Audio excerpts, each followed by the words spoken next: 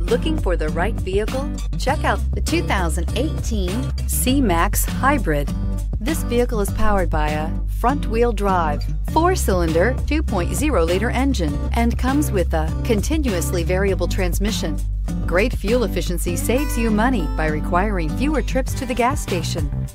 This vehicle has less than 100 miles. Here are some of this vehicle's great options. Traction control, stability control, roll stability control, braking assist, power brakes, regenerative braking system.